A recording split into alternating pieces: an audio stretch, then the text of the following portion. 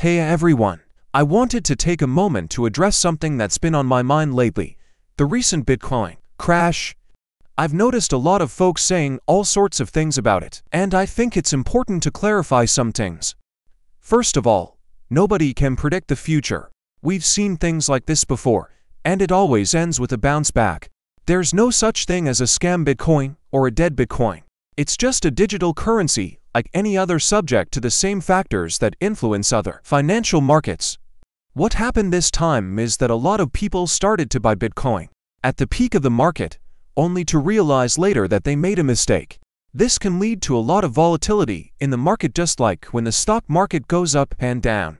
It's important to approach these things with a sense of perspective and understanding, rather than jumping to conclusions. Moreover, it's crucial to remember that Bitcoin is not the only digital currency out there. There are thousands of options available, each with its own unique features and benefits. It's always a good idea to research and compare different currencies to make an informed decision. Lastly, don't forget that Bitcoin is a technology in its early stages. It's constantly evolving, and new features are being added to make it even more secure and accessible. While there have been some negative reports about the current infrastructure, it's important to remember that the technology is still in its formative stages. In conclusion, the fact that people are wrong about Bitcoin doesn't make it a bad investment or a scam.